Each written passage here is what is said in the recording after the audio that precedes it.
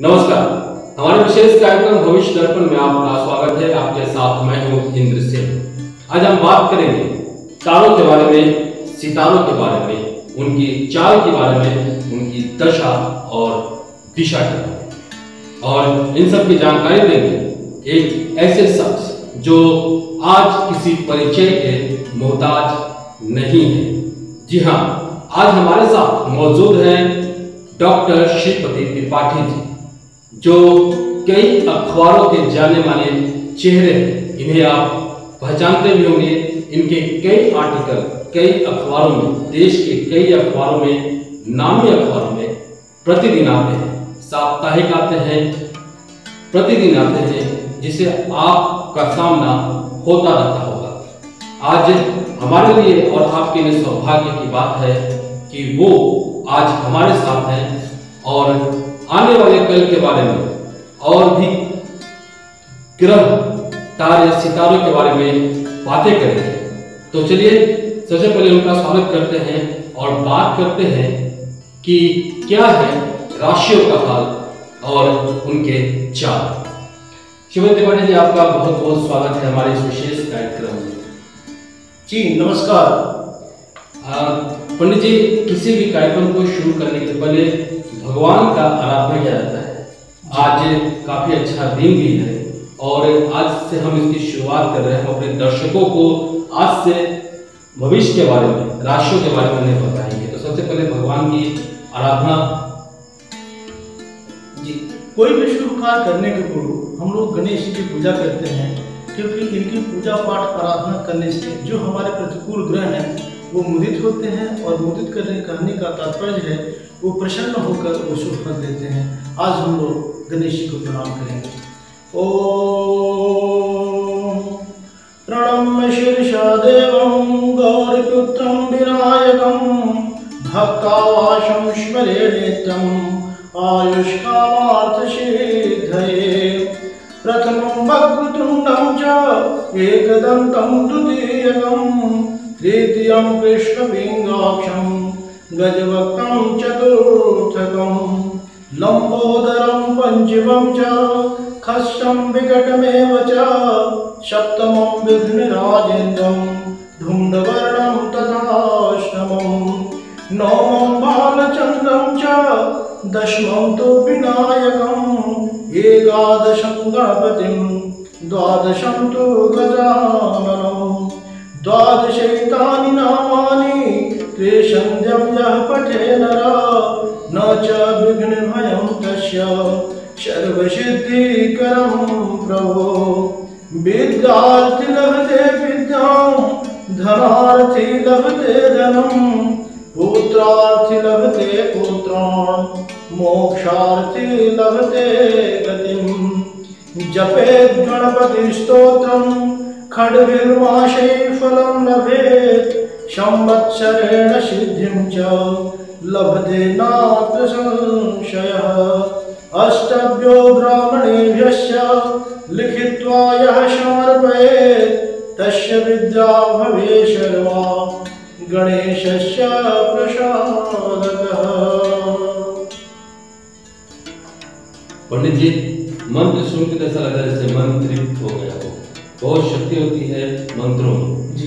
अब अपना कार्यक्रम शुरू कर करते हैं लेकिन उससे पहले पंडित जी हर जातकों की एक दुविधा होती है कि वो राशि कैसे देखें क्योंकि उन्हें समझ में नहीं आता है कि वो नाम से देखें कि जन्म से देखें तो राशि क्या होता है? उन्हें देखने की विधि बताएँ जी। हमारे यहाँ राशि देखने की चार विधियाँ हैं। पहली विधि है आप अपने जन्म पत्रिका के अनुसार लग्न राशि के अनुसार देखने की आपकी कुंडली में कौन से ग्रह उच्च के हैं जैसे सूर्य उच्च के हैं? तो उसके अनुसार बनने वाली राशि आपकी जन्म राशि होगी। हमारे यहाँ दूसरी विधि है जन्म कुंडली के अभाव में। जन्म नक्षत्र अगर ज्ञात हो तो उसके द्वारा आप अपना नाम नामाकरण जान सकते हैं, नाम की राशि जान सकते हैं। हमारे यहाँ तीसरी विधि है, आप अपने नाम के पहले अक्षर की राशि ज्ञात करें। उसके अनुसार आप अपने भविष्य के बारे में, अपने राशि के बारे में जानें। हमारे यहाँ ज्योतिष शास्त्र की अंतिम सम्मति यह है कि अगर आपको अपने नक्षत्र का ज्ञान है कि किस नक्षत्र में आपकी पैदाइश है, उसके द्वारा अगर आपको अपनी राशि ज्ञात हो जाती है तो उसके द्वारा भी आप जानकारी पा सकते हैं।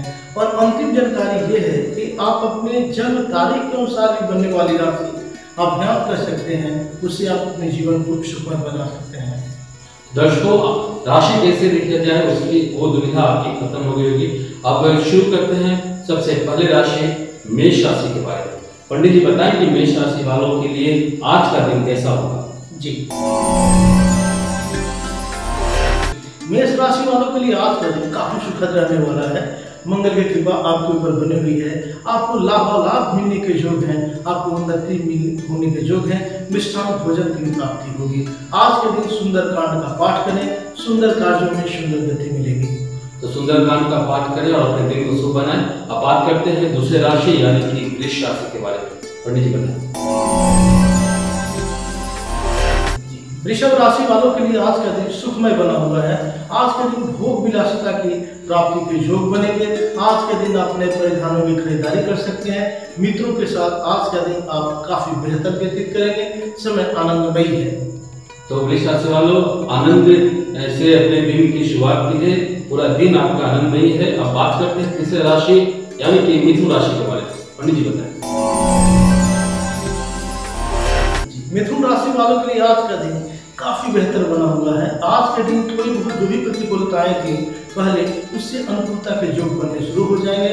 आप देखेंगे कि आज का दिन, अगर आज के दिन आप कोई नया कार्य कर रहे हैं, सकारात्मक प्रयास कर रहे हैं तो आने वाले समय में काफ़ी बेहतर परिणाम देगा आज भी बेहतर देगा और भविष्य भी बेहतर देगा। तो मिथुन राशि वाले अच्छा परिणाम मिलेगा। अब बात करते हैं कर्क राशि के बारे में। कर्क राशि वाले अकारण ज़्यादा न सोचें। कार्यों को लेकर आगे बढ़ें सकारात्मक सोच रखें अपने दृढ़ निश्चय विचार के कारण सोच के कारण कार्यों को अंजाम दें आप आगे बढ़ें। माता रानी की कृपा आपके ऊपर बनी हुई है। अब बात करेंगे सिंह राशि के बारे में। पंडित जी बताएँ सिंह राशि वालों के लिए आज का दिन कैसा रहेगा सिंह राशि वालों के लिए आज का दिन काफ़ी भावुकता वाला बना हुआ है। आज के दिन आप अपने भावुकता पे ध्यान रखें, अन्यथा भावुकता के कारण आप गलत निर्णय ले सकते हैं। वाहन आदि शुभ के योग बने हुए हैं, थोड़ा संयमित होकर वाहन चलाएँ। तो भावुकता पे ध्यान देने की ज़रूरत है और संयमित होकर के वाहन चलाइए ऐसे भी कभी भी वाहन चलाना चाहिए तो कंट्रोल में ही चलाना चाहिए गाड़ियों को। अब बढ़ते अगली राशि की ओर, बात करते हैं कन्या राशि की। पंडित जी बताएँ, कन्या राशि वालों के लिए आज का दिन कैसा होगा? कन्या राशि वालों के लिए आज का दिन व्यवसायिक दृष्टिकोण से काफ़ी बेहतर बना हुआ है। छात्र वर्ग अपने आप को बेहतर करने के लिए प्रयासरत रहेंगे। एकाग्रचित होकर अध्ययन करें। अपने लक्ष्य के प्रति अग्रसर रहें। उन्नति के योग हैं। अ, उन्नति के योग हैं। अब बात करते हैं तुला राशि के बारे में। तुला राशि वालों के लिए कैसा दिन रहेगा पंडित जी।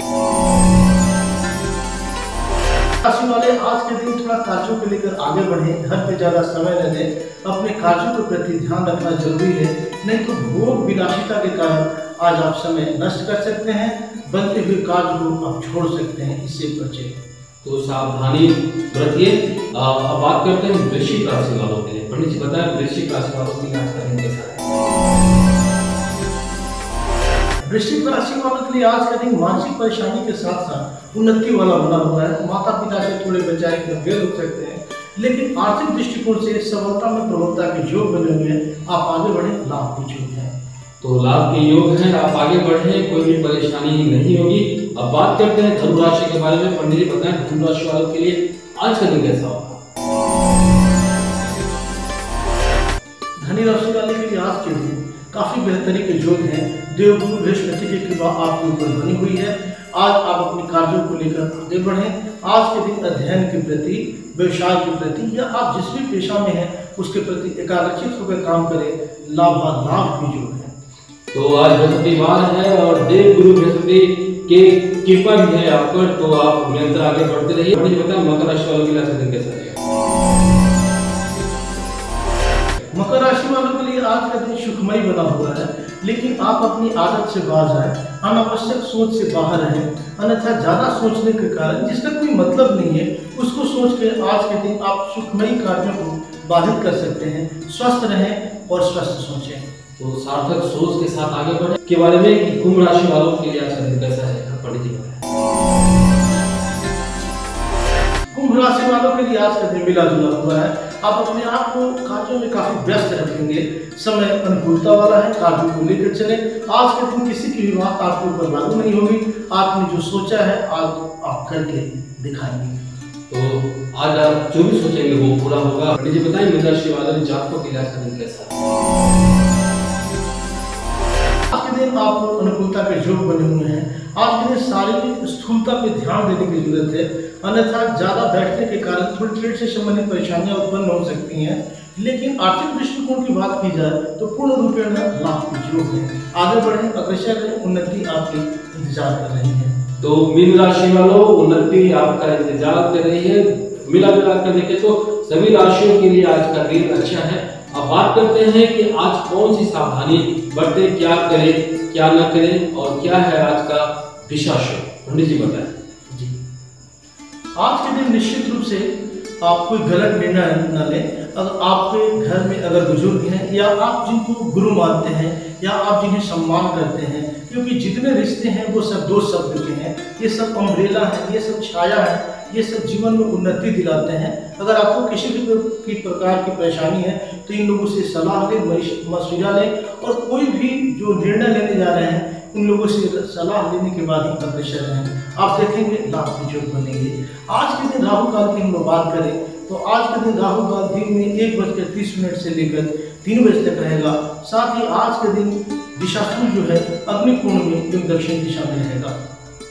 तो अग्निकोण में और राहु काल के बारे में आपकी जानकारी मिल गई दिशाशूल के बारे में आपकी जानकारी मिल। गई अब आज हम हमारे इस विशेष कार्यक्रम में बस इतना ही।